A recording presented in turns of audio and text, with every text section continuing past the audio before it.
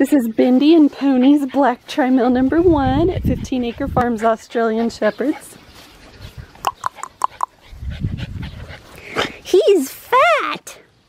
He's a big old fatty. Look at that tummy. Oh my goodness, you're fat. Mm hmm He's so adorable.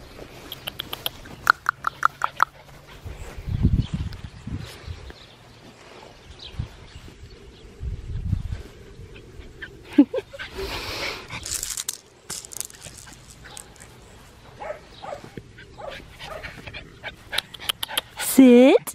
Good boy. He's a good puppy. Yes.